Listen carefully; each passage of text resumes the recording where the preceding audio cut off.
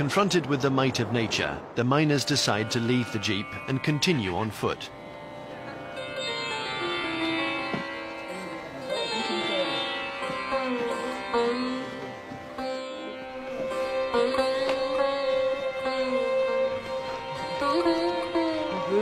The villages in this region are havens of peace, soothed by the gurgling brooks of glacier runoff that flow into irrigation canals.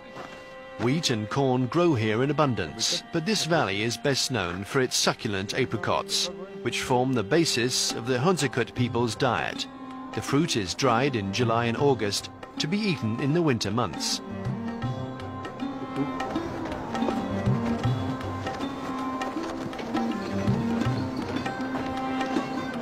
The Sumayar Valley, dominated by the 7,257 meter high Mount Diran, becomes increasingly hostile and barren the higher you climb. That mountain is Chumar Bakar. The mines are behind it.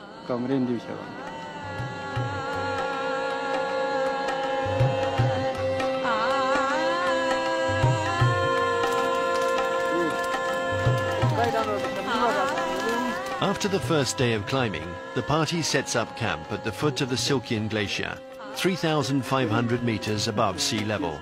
It's the last place on the journey where bushes can be found to make a fire.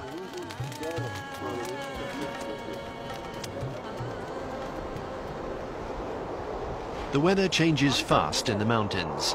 This is the major risk, and the miners know that.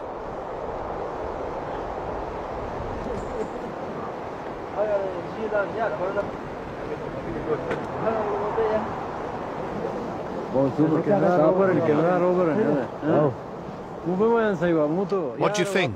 Do we have to go back down?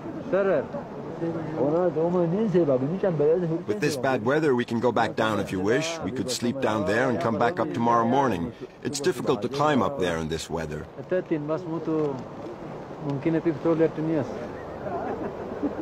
The atmosphere is tense. We have entered the spirit's kingdom, and everyone has lost a loved one on this mountain.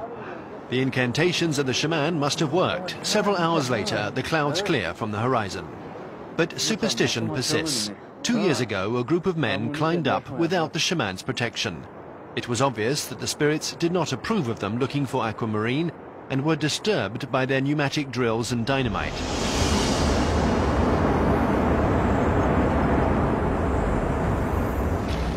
Incensed by these intruders, they killed them in an avalanche.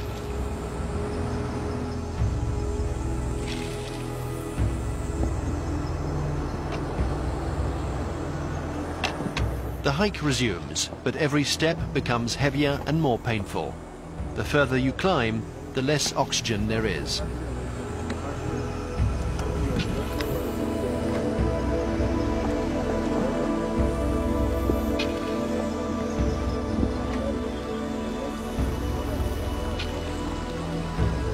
The group finally arrives at the Shumar Bakar mine. At almost 5,000 meters above sea level, this makeshift village is made up of 70 small houses built of dry stone walls with canvas sheets for roofs. Murtazar picks up the pace because he can't wait to see the aquamarines found in his absence.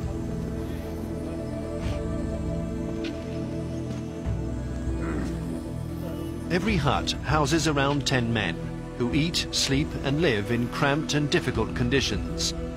Murtazar's father is one of the elders who looks after the village when his son goes down into the valley for equipment or to sell stones.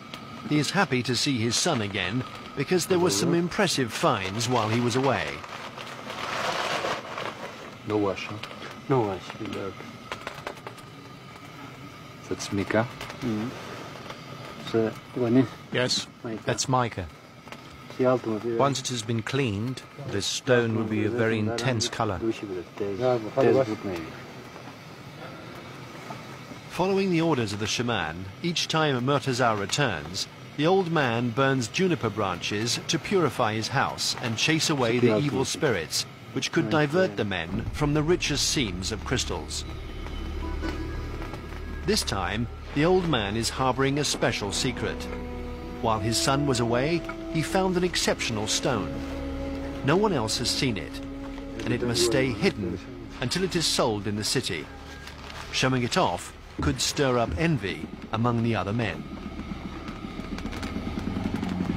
Aquamarine grows in perfectly hexagonal crystals, which in this mine are particularly large and well formed.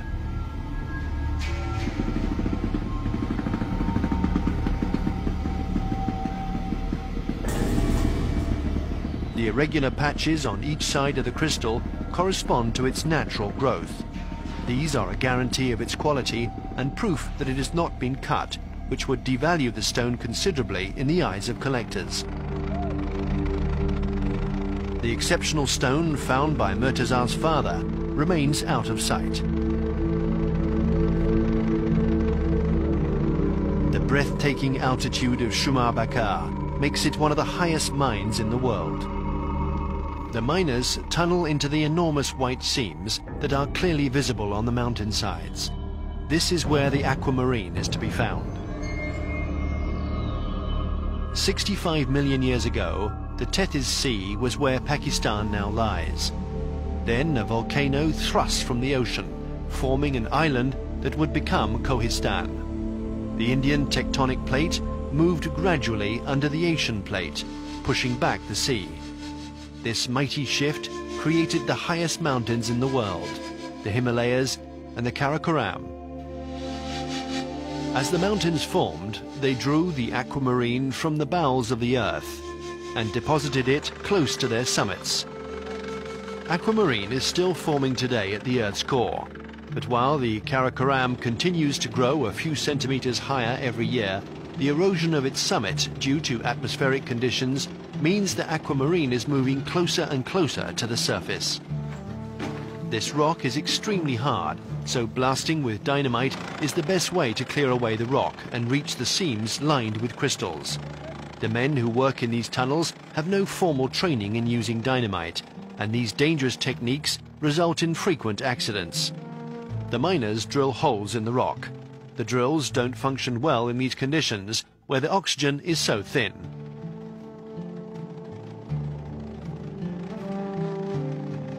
Then sticks of dynamite are placed in the holes.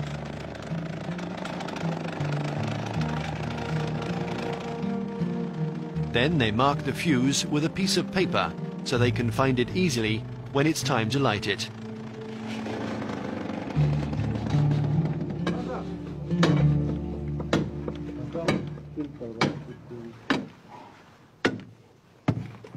You have to be careful in the mine because of the dynamite. We've got to shift this stone. That's it. It's coming away now. And we'll blast away this block.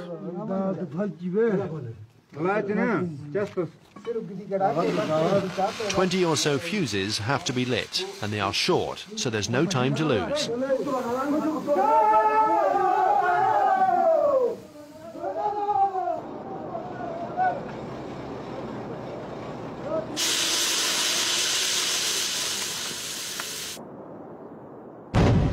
One, two, three, four. The miners count the explosions one by one, but this method is approximate, and one explosion can cover another.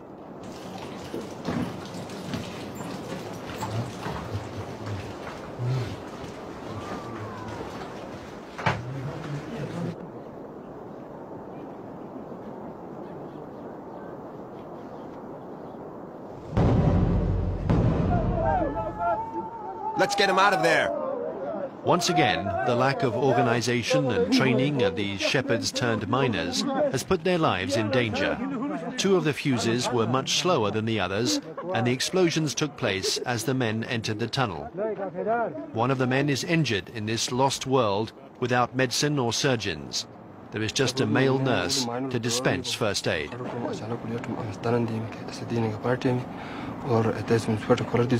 He was inside the mine during the explosion, and a rock hit him on the head. I've put two or three stitches in the wound. He's a little better now.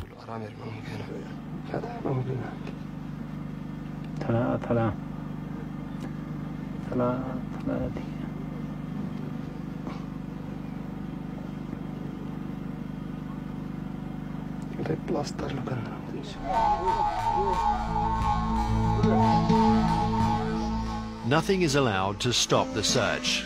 The explosions have opened up a pocket of crystals, and for these miners, the aquamarines are more important than their own lives.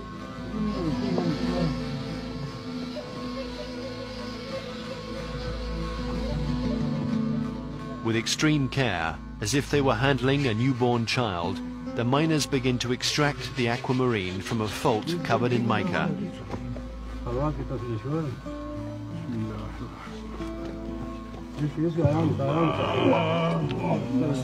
The contrast between these rough-looking men and the delicate way they extract the fragile crystals is striking.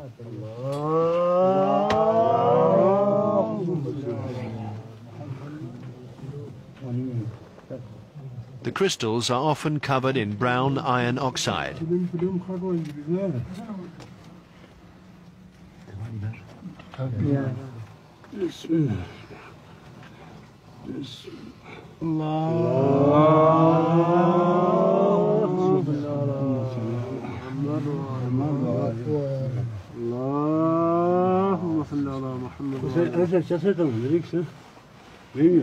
Each time a crystal is taken out, the miners say a prayer of thanks.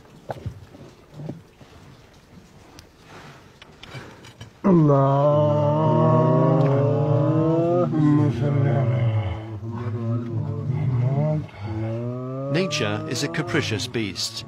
It can take months of work to open up a pocket of aquamarine like this. Some tunnels never produce anything. Either Gulmultaza or his father is present for every discovery because they have invested the most in this tunnel.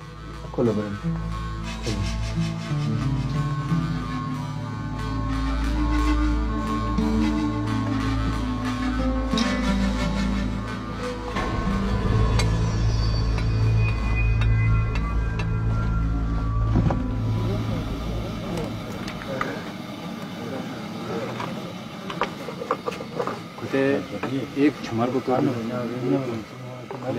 Chumar Bakar, there are about 70 to 75 tents and up to 500 people work there.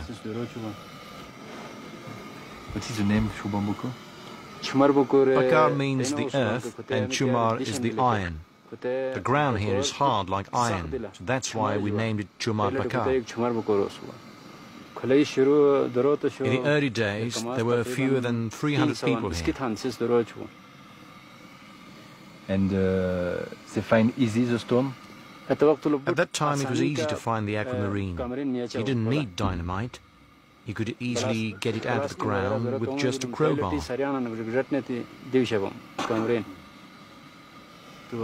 Now we've formed crews of six or seven men. Each of them has one or several shares of the profits, depending on what he has contributed, whether it be explosives, machines, food, or sheer hard work.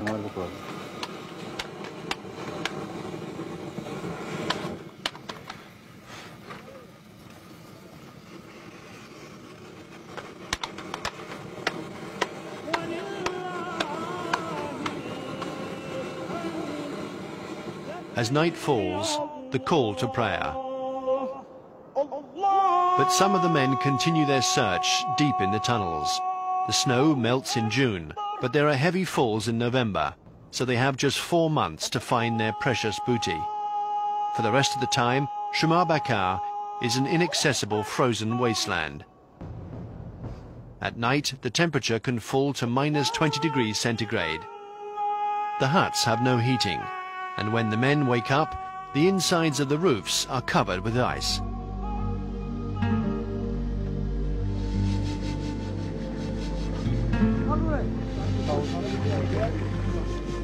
There's no hot water for a morning wash. The village slowly comes to life, and the men have their tea. It's their only source of heat at this hostile altitude. Sleeping in the huts of Shumabakar is not easy. It's cold, but even worse, it's hard to breathe. The flames of the lamps consume a large part of the oxygen that is so scarce at this altitude. Add to that 10 or so miners sleeping in these cramped little houses and the air becomes unbreathable. The men are close to suffocation and suffer terrible headaches. The men who continued on through the night have found something.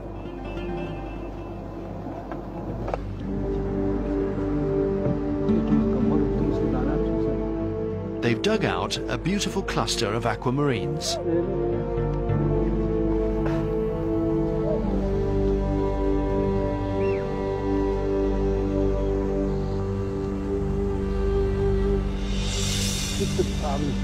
But the substance surrounding the crystals, called gangue, is too thick, making this stone too heavy.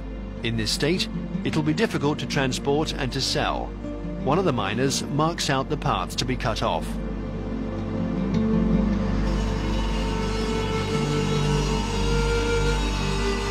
The gangue will be cut away with a diamond edge saw.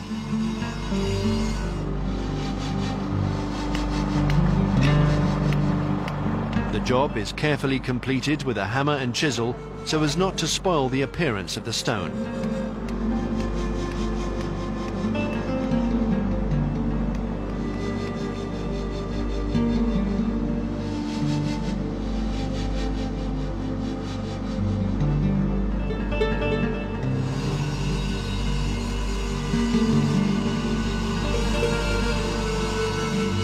The aim of these modifications is to make the crystals look as good as possible.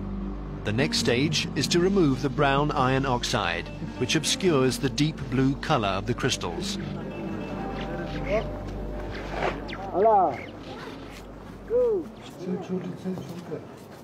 To do this, the aquamarine is dipped in a hot acid solution, which dissolves the iron oxide. After a thorough washing and then rinsing in water, the gem's true color appears.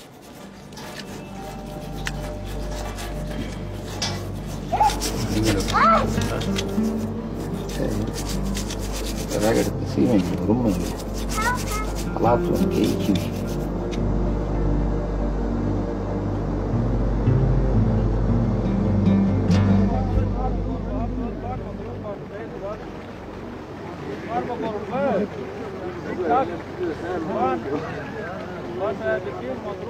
Several times a week, the men gather in the center of the village to sell their crystals according to an ancient tradition.